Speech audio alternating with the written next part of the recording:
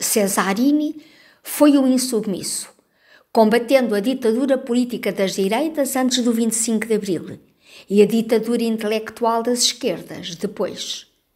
Personalidade polémica, subversiva, transgressora, a sua poesia é intensamente sarcástica e animada por um sentido de contestação a comportamentos e costumes instituídos.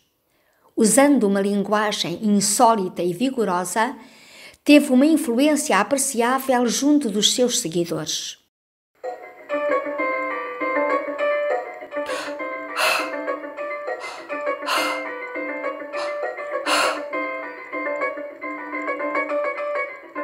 Uma corda, uma garganta, duas dores, o infinito, um irmão que chora, uma mãe que canta. E uma noiva que diz: Ai que eu grito! Um soluço, uma noite, uma aurora, uma mesa. Um suicida esquisito. Um irmão que sai porta fora. Um menino que compra um apito. Uma senhoria irritada. Dois odores a gato pingado. Uma noiva inconforme, coitada. Uma mala muito bem fechada. Um quarto de novo alugado.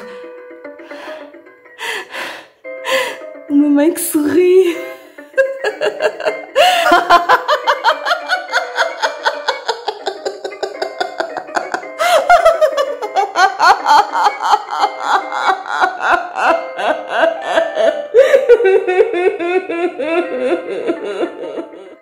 Alguém que ama um corpo quente que nem quê.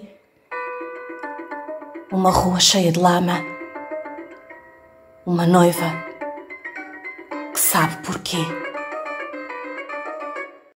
Ao recorrer a processos tipicamente surrealistas, enumerações caóticas, utilização sistemática do sem-sentido ou do humor negro, automatismo psíquico, trocadilhos e outros jogos verbais, alcançam uma linguagem que sabe encontrar o equilíbrio entre o cotidiano e o insólito.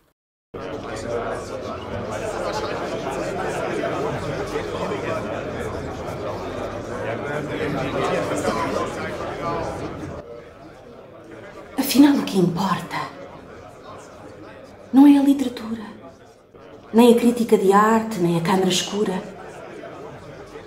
Afinal, o que importa não é bem o negócio, nem o ter dinheiro ao lado de ter horas de ócio. Afinal, o que importa não é ser novo e galante. E lá tanta maneira de compor uma estante. Afinal, o que importa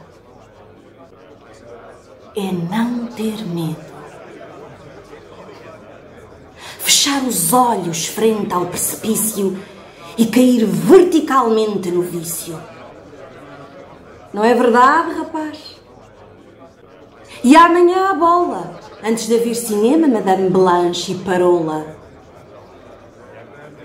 Que afinal o que importa não é haver gente com fome.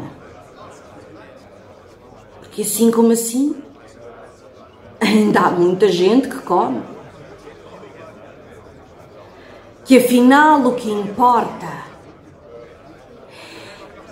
é não ter medo de chamar o gerente e dizer muito alto ao pé de muita gente: Gerente, este leite está azedo. Que afinal o que importa é pôr ao alto a gola do peludo à saída da pastelaria e lá fora. Ah, lá fora!